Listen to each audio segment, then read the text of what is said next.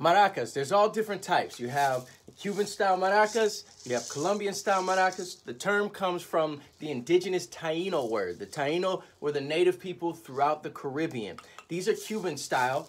And what a lot of people do is if they're playing it more more staccato, they might use old school way and depending on your genre, depending on the rhythm and in the traditional context, but they might use gravity, so I'm down here, or you you see people playing up here as well. Now you could play it staccato, and I'm using, instead of just gripping it, I have this motion here, right? And I'm not too far here because I won't have as much control. I'm not muffling it. I'm somewhere right here. Sometimes I use my thumb, you know, right at the base to control, right? But if I use some movement, I can make it swishier.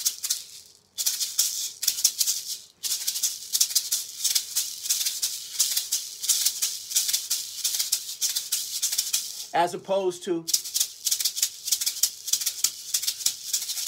right? So it depends upon the technique. You can play doubles. But when you play the maracas, because of the stuff inside, when you go forward and back, you get the stuff that goes forward, back, and then it comes back down. So you really get a triplet. So when you speed up,